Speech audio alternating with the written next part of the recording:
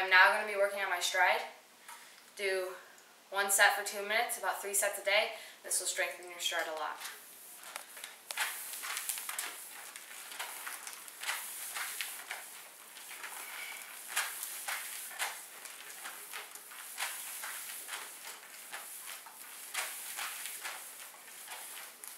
You want to extend your legs all the way back.